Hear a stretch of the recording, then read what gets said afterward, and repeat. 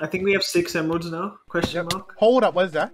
Someone threw emeralds over the side. I found two more. Red ah. threw emeralds on the side of the island. Okay, now we have six then. If including those, we have six. That then. is very funny because I'm not sure if they did what I did and accidentally failed to throw them off. We now have six.